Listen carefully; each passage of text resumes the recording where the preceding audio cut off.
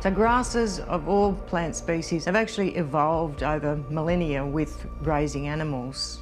So it's no coincidence that the ideal height of defoliation for health of a grass plant actually coincides with the natural bite height of ruminant animals. So if they're grazing a, a plant that appears in a, a, normal form and might be 10 or 15 centimetres high, that bite will take that plant down between 7 to 8 centimetres and generally not less than 5 centimetres. So if you leave 5 centimetres of green leaf on a perennial grass plant, you're likely that there will be no damage to the root system.